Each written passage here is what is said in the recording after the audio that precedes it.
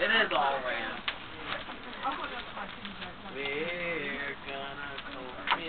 We're gonna burn the cave down. We're gonna Burn up a lot of fire and actually collapse.